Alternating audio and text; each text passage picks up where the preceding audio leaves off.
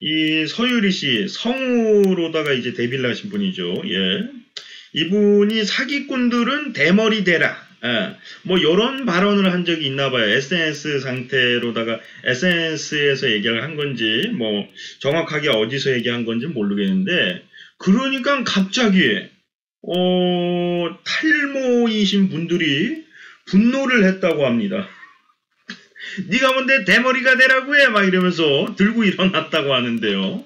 아 근데 이 정도는 우리가 어, 얘기할 수 있잖아요. 솔직히 얘기해서 예 사기꾼들 대머리 되라 예 뭐 공짜 좋아하면 대머리 된다 뭐 그런 말이 있듯이 예 뭐 농담으로 얘기를 한 것 같은데 갑자기 이건 뭐그 어, 대머리이신 탈모이신 분들이 들고 일어나 가지고 예 그건 좀 어이가 없네요. 그렇죠? 예.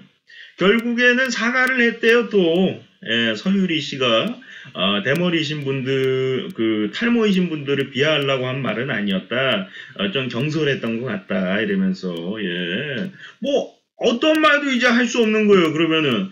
그 게을르니까 뚱뚱한 거지 얘기도 이제 뚱뚱한 사람들이 들고 일어날 테고 어. 아이 뭐 어, 다이어트 하려고 살 빼려고 밥안안 먹는 거자면 어, 많은 사람들이 들고 일어날 테고 예.